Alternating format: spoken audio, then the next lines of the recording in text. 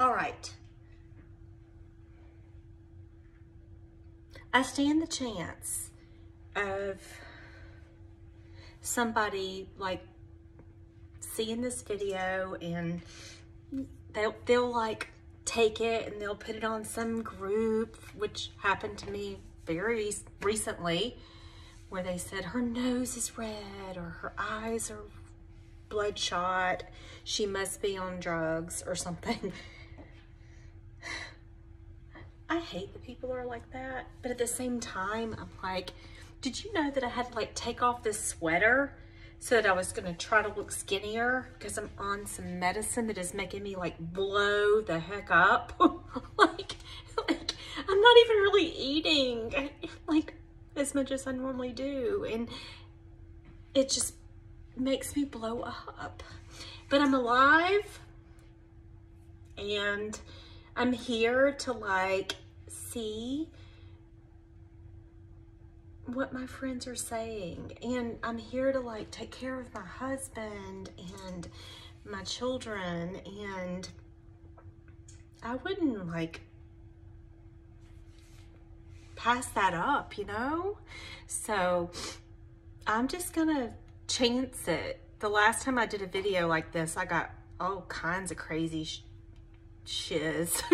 like people like put it on all these different social media sites and they said that I was like, you know, on drugs or something because of the way I looked. I'm like, Holly, you know, I'm, I don't know. I, I didn't really, I tried not to like reach out and say a whole lot because when you do, when you respond, it only just kind of escalates all that chatter and makes it worse. But quite honestly, y'all, I just I've been on social media since 2009 and um, I have like, I feel real friends here.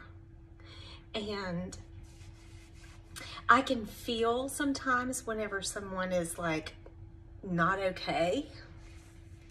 Maybe I'm crazy. I don't know. I don't think I am.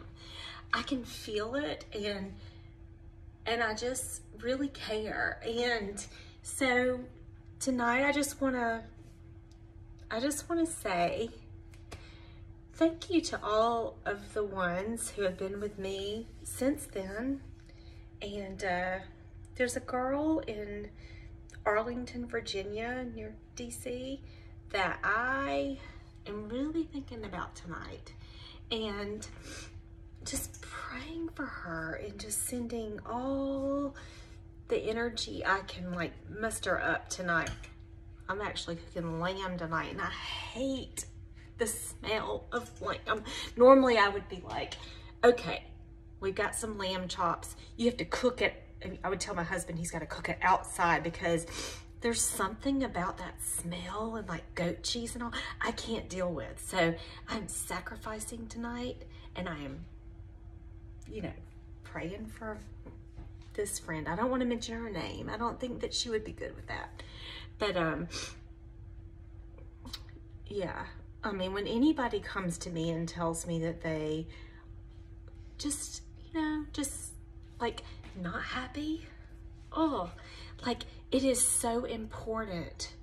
It is really important every day to try to find some kind of balance, some kind of way to be happy, some kind of way to, to balance the anything negative that has come into your life with a happy thought, somebody does something good. I mean, you, you can change. You can change everything by the way that you think about it, by the way you view what is happening to you. And uh, I have been very sick. and today the sun was shining. I just pointed out there because that's where my windows are, but now it's dark out there. But today the sun was shining and I chose, I was gonna go to the grocery store, but I was like, that would be a waste of my time because the sun is out. I have been sick and I can order Instacart and they will bring it to my house and it's worth the tip and I tip good. For me to like be outside and basking in that sunshine, getting that vitamin D and um, grounding. Um, remember that. Like, not everybody can afford that. So maybe that's where we need to go with this. Like we need to take care of people. Like if you if you know people that are like shut in and they maybe can't, they're like, I don't, you know, the only thing I can get is what I can get, like from what's, you know, what they can get when they finally get out if you know those people, you live in these neighborhoods and you can bless them with groceries, I don't know, just a, just, just, you know, just a little thought. I don't know, just say, today is a sunny day. Enjoy the sunshine and I'll take care of the rest for you. I wish everybody would do that because there's so many of us that are blessed. Like we can we can get out, we can go and like we can go to restaurants and we can there are so many people that can't though.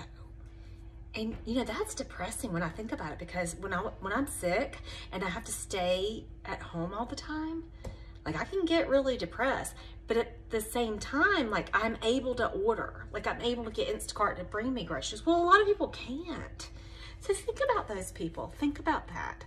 Like, think about your neighbors who maybe can't afford that, don't know how to do that, you know? Um, and bless them with groceries. Just maybe go through and like sit on their front porch with them and say, what do you like? Like, we're not all going to like the same things. So what you might want to bring them might not really bless them. Bless them with what they love. You know, like if they want like frozen burritos all day long, bring them some frozen burritos. Have them delivered to their house.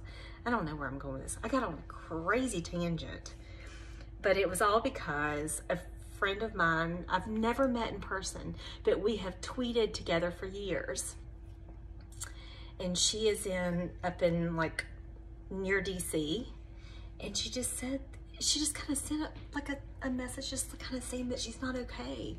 And it just got me to thinking like and I know that she doesn't drive like she doesn't have a car and and she doesn't have like what I have like where I can just walk outside and go in the woods and like hug my dog and like let the sun shine on me you know She's, I don't, I don't think she has a porch or a balcony even. So it just got me to thinking about how a whole lot of people don't have even like a tenth of what I have. And if we could all just kind of think about our neighbor, you know, and and not judge and who cares if all they want are like frozen hamburgers? You know, if somebody told you that, like go get them all the frozen hamburgers. You know you can afford it. There's so many of you that can. And, you know, make somebody's day better. I love all of you. I'm coughing right now. I feel like I'm gonna cry. But anyway, I love all of you and um, just be blessings. That's why we're here. That's why we're here. All right, love. That's what we're supposed to do. Love. Okay.